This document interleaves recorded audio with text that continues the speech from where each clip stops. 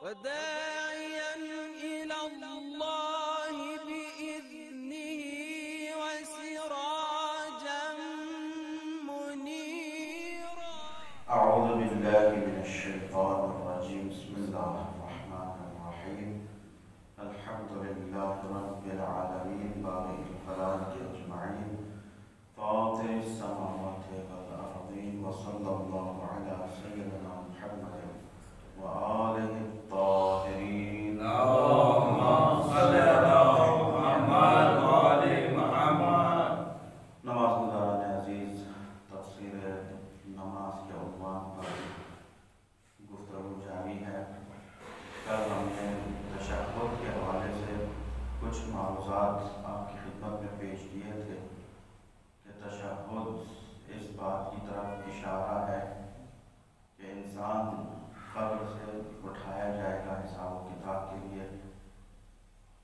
انسان کی زندگی خاک میں مل جانے کے بعد، ظاہری طور پر روح قبض ہو جانے کے بعد ختم نہیں ہو جاتی، بلکہ اس مختصر سی زندگی کے بعد ایک طویل زندگی کا آغاز ہوتا ہے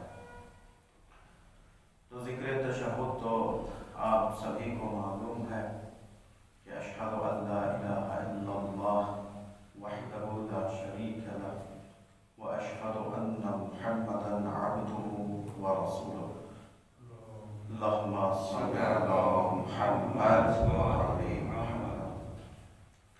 انسان اس میں گواہی دیتا ہے درحقیقت یہ کہتا ہے کہ پروردگار میں گواہی دیتا ہوں کہ تو ایک ہی ہے، خدا ایک ہے، اس کا کوئی ساتھی اور شریک نہیں ہے۔ اور میں گواہی دیتا ہوں کہ محمد اس کے بندے اور رسول ہیں تو ظاہر سی بات ہے کہ انسان کی بلندی انسان کے بندے ہونے میں ہے رسول کے لیے بھی پہلے ان کے بندے ہونے کا اعلان ہے کہ عبد ہو و رسول یعنی محمد اللہ کے بندے ہیں۔ اور پھر اعلان ہو رہا ہے کہ وہ رسول ہیں۔ یعنی ان کی عبدیت کا اعلان پہلے اور ان کی رسالت کا اعلان بعد میں کیا جا رہا ہے۔ اور سورہ بنی اسرائیل کی ابتدائی آیت ہی میں آپ کو معلوم ہے کہ سورہ بنی اسرائیل جس کے تین نام ہیں ہے نا خود بنی اسرائیل سورہ بنی اسرائیل سورہ اسراء اور اس کو سورہ سبحان بھی کہا جاتا ہے بنی اسرائیل اس لیے کہا جاتا ہے کہ اس میں زیادہ تر حکایتیں جو اس سورہ میں بیان ہوئی ہیں وہ بنی اسرائیل سے متعلق ہیں۔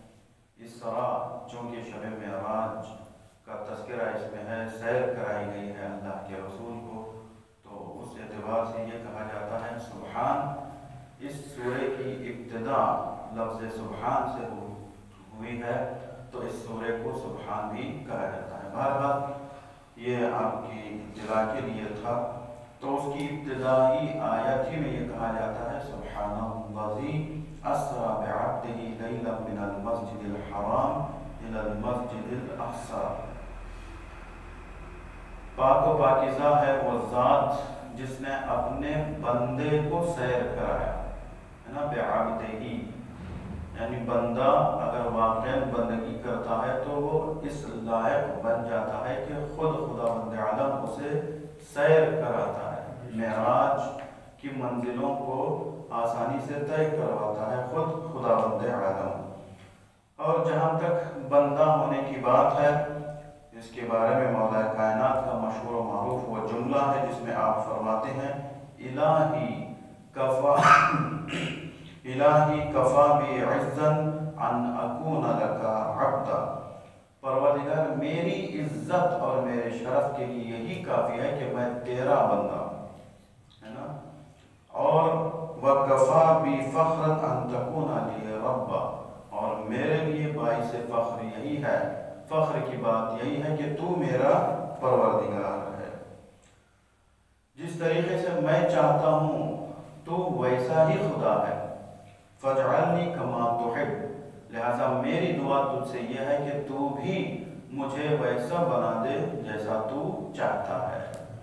تو کہنے کا مطلب یہ کہ مولا کائنات اتنے زیادہ القاب مولا کائنات کے پاس ہیں، لیکن کسی پر بھی وہ فخر نہیں کر رہے ہیں۔ اپنے لیے عزت اور بزرگی کا اظہار نہیں کر رہے بلکہ خدا کے بندہ ہونے کو بہت بڑا شرف سمجھ رہے ہیں۔ تو تشہد میں گواہی دی جاتی ہے رسول کی عبدیت کے اور پھر ان کی رسالت کی۔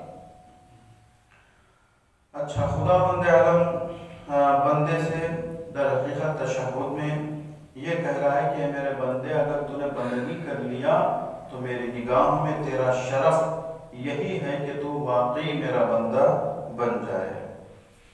اچھا پھر تشہد کے ذکر میں صلوات کا بھی تذکرہ ہے۔ یعنی جیسے ہی رسول کا نام لیں گے، پھر ہم کہیں گے، اللہم صلی علی محمد و آل محمد. ہے نا؟ تو اہل بیت کی ولایت چونکہ وسیلہ ہے، تمام نعمتوں کے نازل ہونے کا وہ مشہور و معروف حدیث قصہ میں ہے کہ خدا عالم فرماتا ہے کہ میں نے اس دنیا کو خلق ہی نہیں کیا اللہ فی محبت خمسط الزینہ ہے نا، میں نے خلق نہیں کیا ہے، مگر ان پانچ ہستیوں کے طفیل میں ان سب چیز کو خلق کیا ہے۔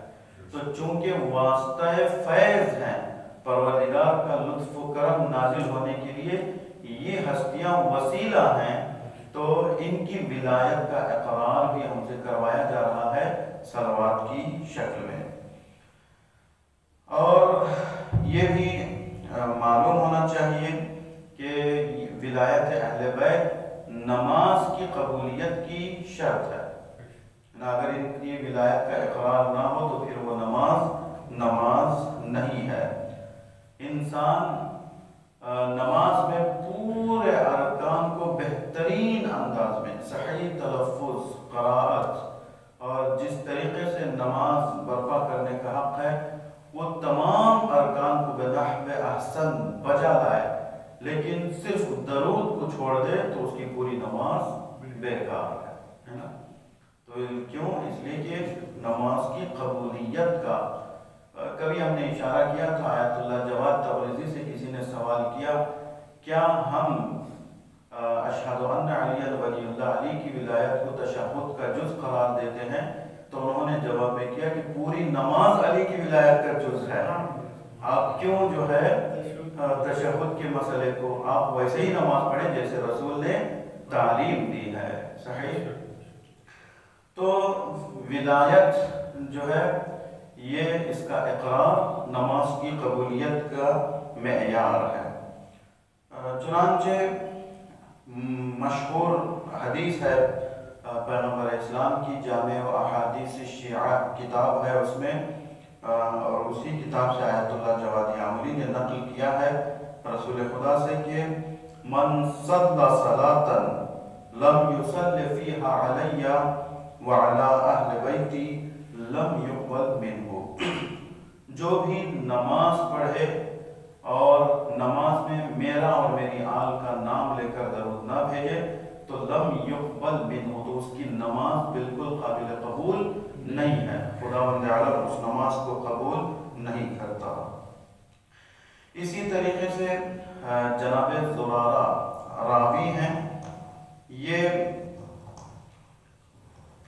نقل کرتے ہیں چھٹے امام امام جعفر صادق علیہ السلام۔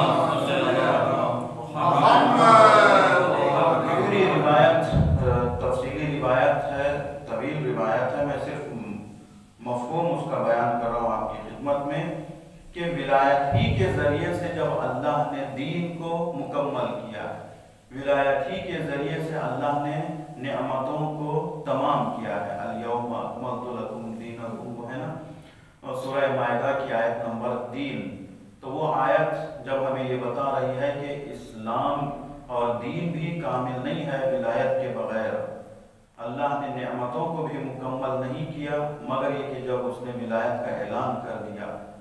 تو جب ہاں، دین قبول نہیں ہے، تو پھر دین کا ایک جز نماز کیسے ولایت کے بغیر قبول ہو سکتی ہے؟ لہذا ہاں، تشہد میں ہاں، انسان خدا کی وحدانیت کے بعد، رسول کی رسالت کے بعد، اہل بیت علیہ السلام